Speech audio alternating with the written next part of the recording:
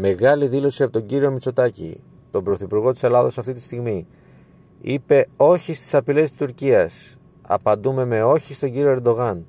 Και δήλωσε επίσης ότι τα ανταηλίκια γιοκ με την Ελλάδα είναι μια δήλωση η οποία σίγουρα δεν θα περάσει απροειδοποίητα και δεν θα περάσει χωρίς να το δούνε οι Τούρκοι στα μέσα μαζικής ενημέρωσης γιατί θα είναι το επόμενο πρώτο θέμα στα μέσα ενημέρωσης της Τουρκίας αλλά να ξέρετε όλοι ότι αυτή η δήλωση θα παιχτεί τόσο πολύ σε κάθε ευρωπαϊκό δίκτυο που θα τη βλέπουν όλοι από εδώ και στο εξής.